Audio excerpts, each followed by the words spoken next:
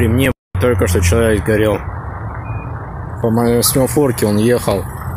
Звук такой, вспышка, и он догорает. Вообще прям наглухо.